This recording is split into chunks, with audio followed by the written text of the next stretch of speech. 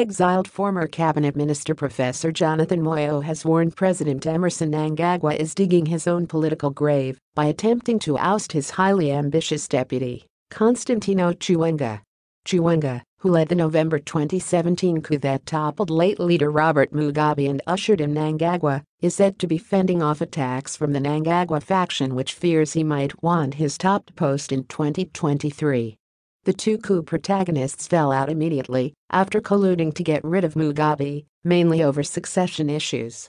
Moyo, who was part of Mnangagwa's rival Generation 40 faction the time, escaped at the height of the coup and has remained outside the country since then. In a Twitter post, Moyo said Chiwenga's role in Mnangagwa's power grab was done, and Mnangagwa had used him just as he had used others in the past. History repeating itself is a farce, People in ZANU-PF need to wake up and smell the coffee.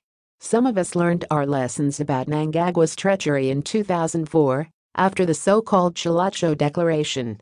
Emmerson is a user. In short, he is a snake. He used Chiwenga in 2017, Moyo wrote.